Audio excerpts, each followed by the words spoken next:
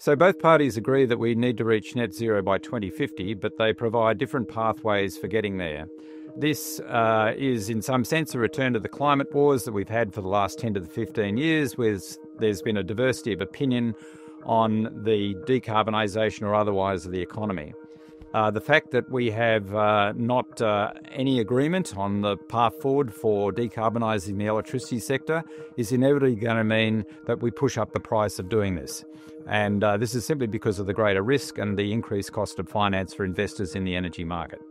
Hi, I'm Ken Baldwin. I'm Emeritus Professor at the Australian National University, and my interest is in advancing the energy transition that we are currently engaged in and looking at the best path forward. And so, really, the question is what is the cheapest way of doing that?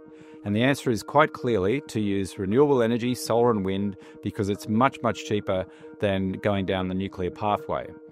Will this mean that electricity bills will be higher or lower in the future?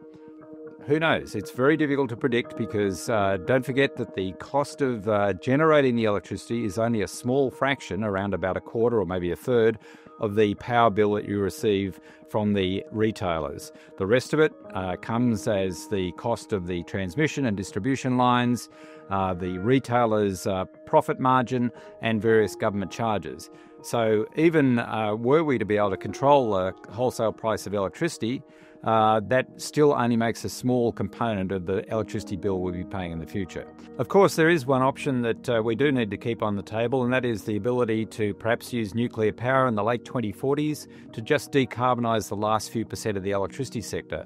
And to keep all our options open, the best thing we could do is to simply remove the legislated prohibition on nuclear power, which is part of the federal and state law.